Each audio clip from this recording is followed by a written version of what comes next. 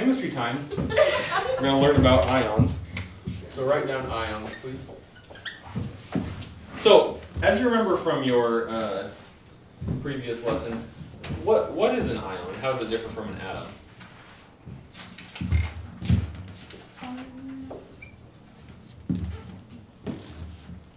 Okay, here's another word. An ion has a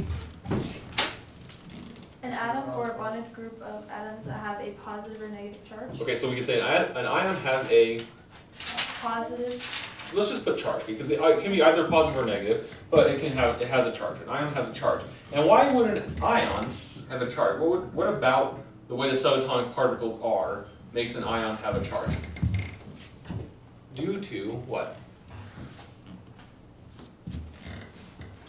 So if it has a positive charge, what do we know about its subatomic particles? What are the subatomic particles? Remind me. uh, protons, neutrons, electrons. Good. So if it has a positive charge, it must have more what? Protons. Protons than what? Electrons. Electrons. So due to a, we, we can't necessarily say more because we're talking about any charge, but a Due what? to number of sub. number- Due to a different number, yeah, due to a different number of protons and electrons. We can't just say subatomic particles because that would also include neutrons, with, which don't matter to this at all because they have. Yeah, they're neutral. So, ions. An ion has a charge due to a different number of protons and electrons. These, when they are ions, they are no longer considered atoms. You should write this down. Um, we've already talked about it in the past, but an atom must be neutral.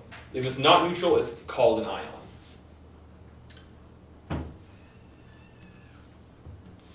So, ions can either be positive or negative, and we have different words for them depending on whether they're positive or negative. Do you remember what the words are? It was in your vocabulary. Uh, cation, Good. A cation, if it is what? if it's positive. Positive. And an then anion. Do you remember the little mnemonic I told and onion. Yep. I, the, the joke is that I actually, I do not like cats, but people perceive cats as a positive little thing. And so cation has a happy little cat. Let's draw the little kitty. That is a really good cat, if I do say so myself. And look how happy it is. We love the cat. Positive, positive. It's going to be emitting a positive charge. And the onion, I actually really like onions, but the onion is a bad, smelly, negative onion. It's emitting a smell and negative charge. Ew. Cation, happy little cat, anion, smelly bad onion. Okay? Um, positive and negative charges. That's kind of silly, but that'll help you remember it, won't it?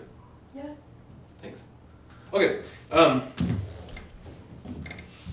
so why? This is the this is the whole gist, and this is the last thing we're going to talk about. Why?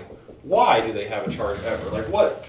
They're just like one day they're like, in the same way that we would say, oh, I need to go get some sheets from the store. The atom's like, oh, I don't need an electron anymore. Is that how it works? No. So why? Why do they change charge ever?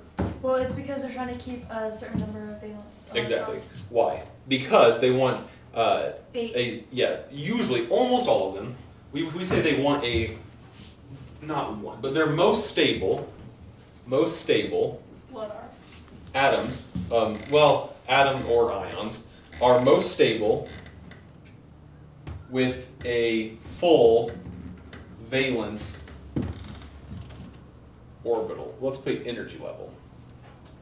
Orbital is kind of an old-timey word. Most stable with a full valence energy level. So for most of them, what is a full valence energy level? We talked about this with electron configuration. Yeah, for most of them it's 8. However, for two elements, it's a different. Hydrogen. And, Um. Yep.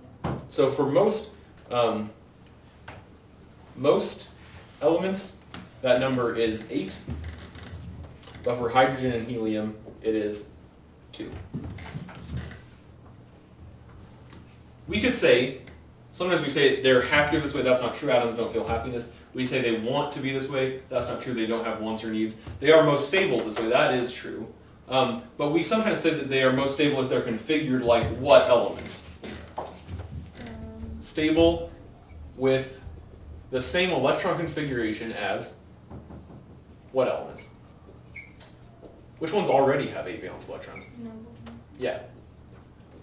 Noble gases. List me the noble gases real quick so I can write them down up here. Um, Helium, helium.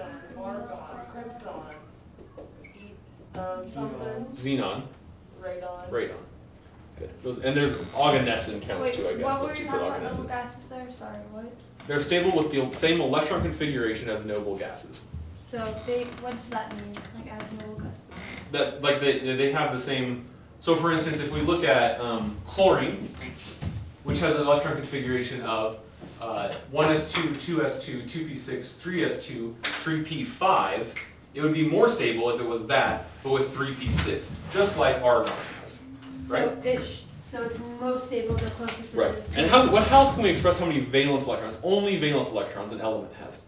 With the what kind of configuration? Electron. Electron dot. So we draw chlorine as seven valence electrons, right? And the trick for that is it's in column 17, so it has seven valence electrons. So if it, how many electrons is it going to have to gain or lose to be like a noble gas? One. One. Gain one. Gain one. And that'll give it a what charge? Negative one. Negative one charge. And we call this the chloride ion. And it's the same for others. We have an oxide ion, and we have uh, fluoride ion. We change the name of anions to end with ide. We don't change the name of cation. So we have something like an iron ion or a sodium ion. Questions? Lesson. Bye.